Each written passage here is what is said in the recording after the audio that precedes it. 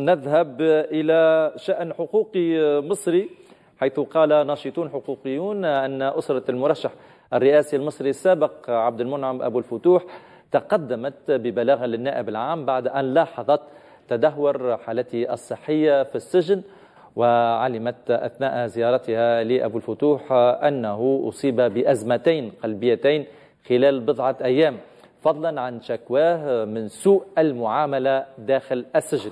وقال المحامي والحقوقي خالد علي عبر صفحته على موقع فيسبوك إن كانت أغلب قوى المعارضة أو المعارضة أو الشخصيات المدنية والأكاديمية المشاركة في الحوار تتجاهل حق عبد المنعم أبو الفتوح في الحرية وإن كان أغلبهم صامتين على عدم إخلاء سبيله والعفو عنه رغم أنه في العقد الثامن من عمره يذكر أن السلطات المصرية اعتقلت أبو الفتوح البالغ من العمر 70 عاما عام 2018 وحكم عليه في مايو الماضي بالسجن 15 عاما بتهمة نشر أخبار كاذبة.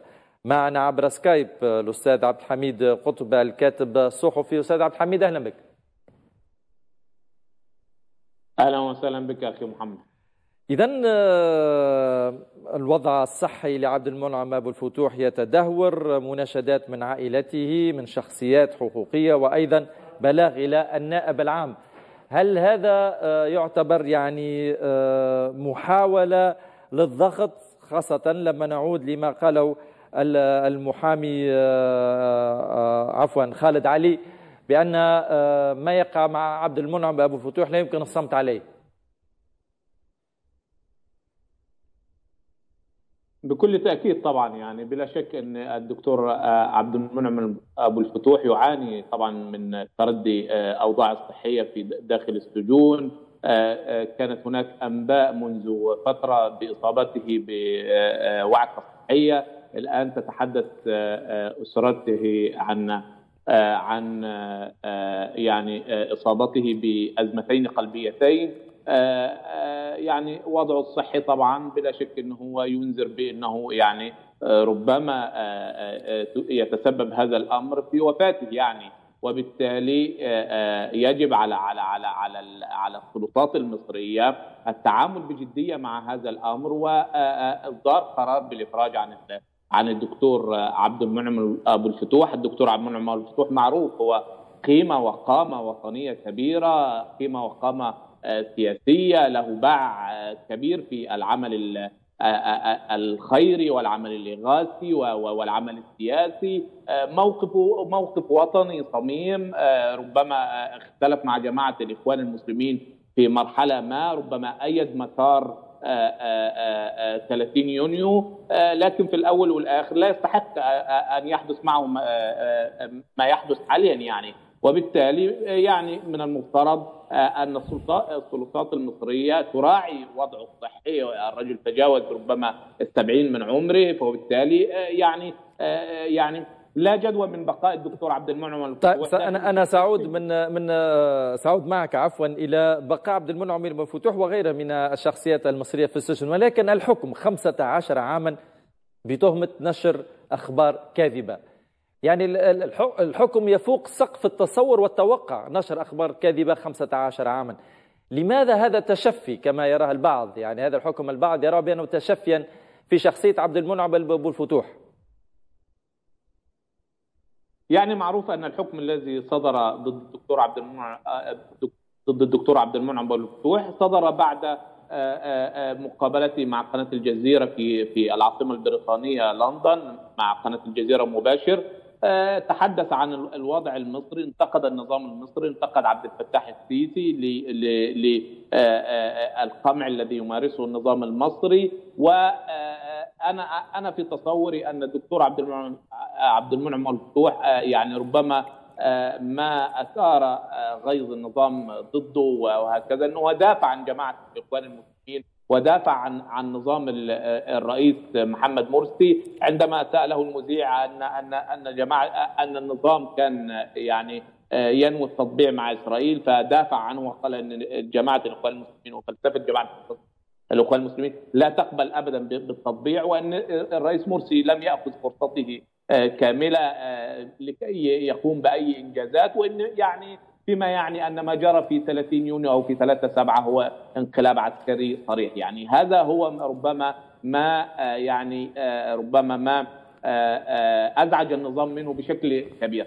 لكن إذا ما قارنا ما بين الدكتور عبد المنعم الفتوح و وضعية حمدين صباحي هناك تشابه بين الاثنين. يعني الاثنين يعني ربما انتقدوا النظام بشكل صريح. ولكن أنا أعتقد أن هذا النظام ربما ربما يعني هو دائما يختلف مع كل من له يعني كل من له سمت إسلامي كل من له يعني يعني كالدكتور عبد المنعم الفتوح.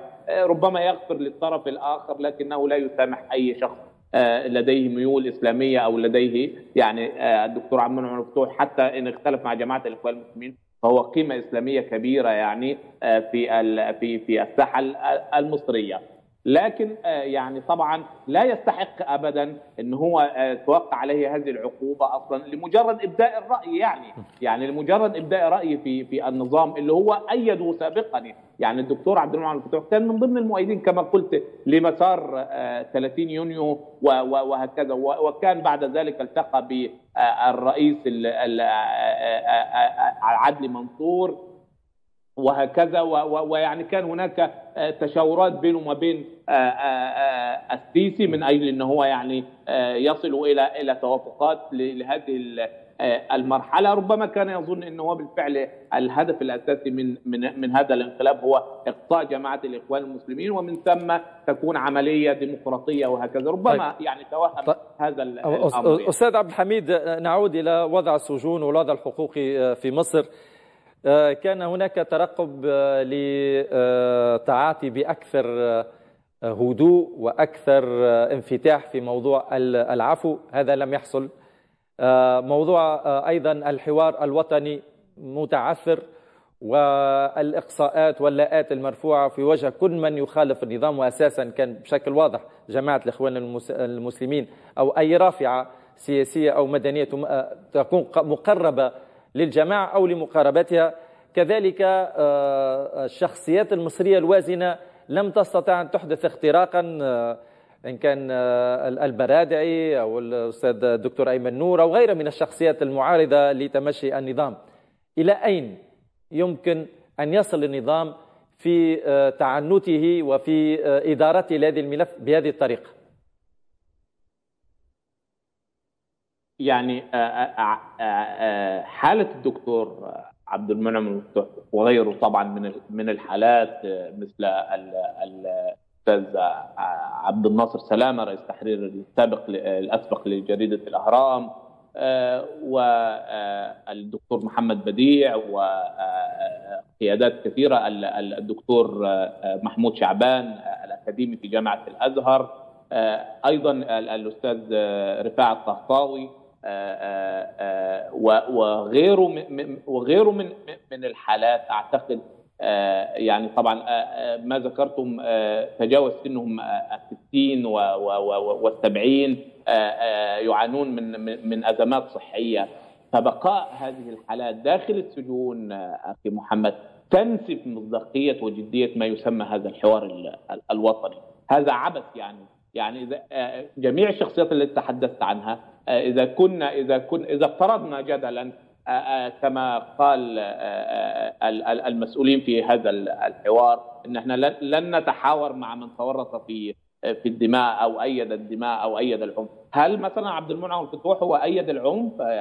يعني نهائيا هو يعني فلسفته من زمان ضد العنف، هل مثلا ال ال ال الأستاذ عبد الناصر سلامة رئيس تحرير ال ال الأهرام الأسبق هل هو مؤيد للعنف أو أو محرض على العنف؟ يعني نهائيا خالص كذلك أيضا يعني الأستاذ رفاع السفير رفاع الطهطاوي أيضا يعني يعني وردتنا حالات أيضا أن زوجته في العناية المركزة منذ يعني أكثر من شهرين. وبالتالي المفترض على هذا الحوار إن كان بالفعل هناك جدية في أنه يتعامل مع هذه الحالات عليه الإفراج عنهم فورا يعني لكي يعطي يعني نوعا من الجدية في هذا الحوار ونوعا من المصداقية في خاصة في هذا هذه الحالات ليس منها ضرر نهائيا يعني. أبدت رأيها النظام انزعج من رأيها عاقبها فترة معينة. الآن يعني هو يعني بقائهم في في في داخل السجون يعني أعتقد أنه